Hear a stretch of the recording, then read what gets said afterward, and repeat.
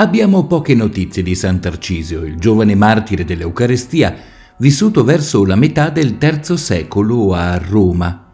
Forse era un diacono, più probabilmente un accolito giovanissimo, adolescente, forse aveva solo 12-13 anni.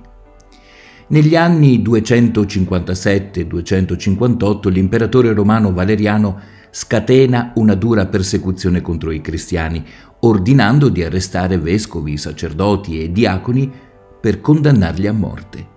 Anche il Papa Sisto II viene scoperto mentre incontra un gruppo di cristiani riuniti segretamente nei pressi di un cimitero e viene ucciso.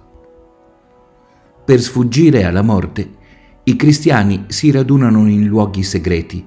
Qui pregano, innalzano inni e lodi al Signore e quando tra loro vi è un sacerdote, celebrano la messa. Pregano nelle catacombe, nelle case, in luoghi lontani da sguardi indiscreti, di nascosto e con la paura di essere scoperti e uccisi.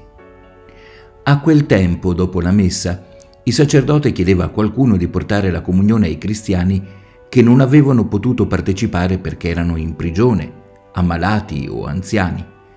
Tarcisio ha coraggio da vendere.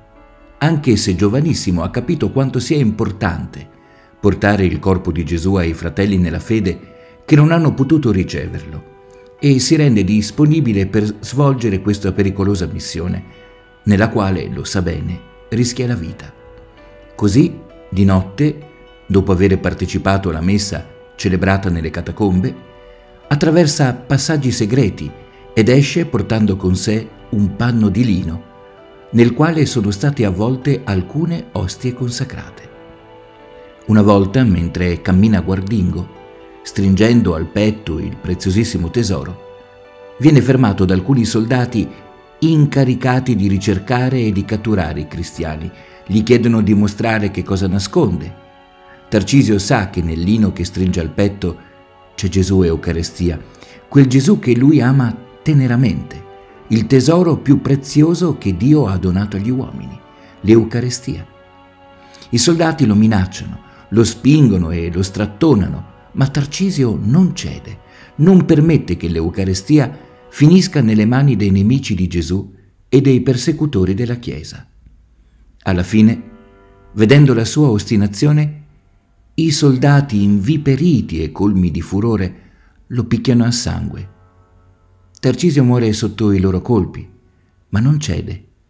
I cristiani raccolgono con grande devozione il suo corpo e lo seppelliscono con onore in una catacomba.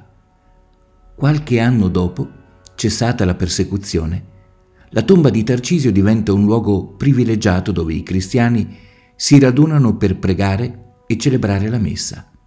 Oggi Tarcisio vive felice e per l'eternità in paradiso. La Chiesa lo ha proclamato patrono dei chirichetti, proponendolo come esempio per tutti i ragazzi che servono la messa all'altare.